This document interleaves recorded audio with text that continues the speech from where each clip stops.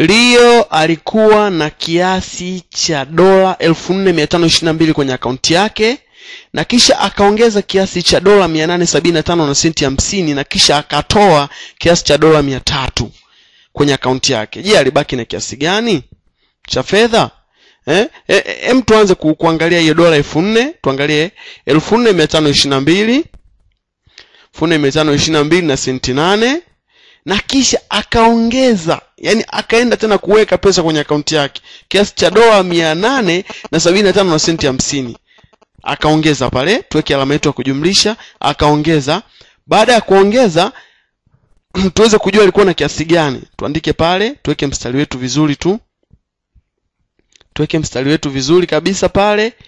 Tuanze tuanze kujumlisha ili tuweze kupata idadi au kiwango au kiasi cha fedha ambacho kilikuwa kwenye akaunti yake nane kujumlisha sifuri tuanze tuanze kwenye upande wa desimali ni sawasawa na nane.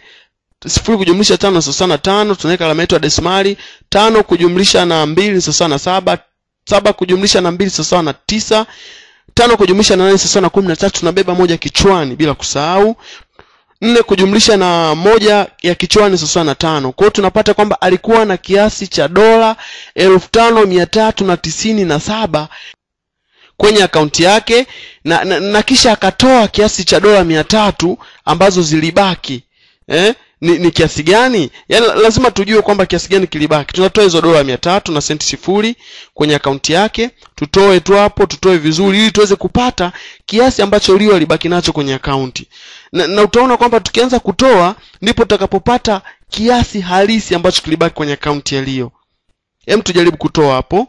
Tutoe nane kutoa sifuri unapata nane tano kutoa sifuri unapata tano alama ya desimali pale saba kutoa sifuri unapata saba tisa kutoa sifuri ni sawasawa na, na tisa na tatu kutoa tatu unapata sifuri tano kutoa uh, sifuri unapata ni tano. Sawasawa kilibaki ni dola elfu tano na tisini na saba na senti hamsini na nane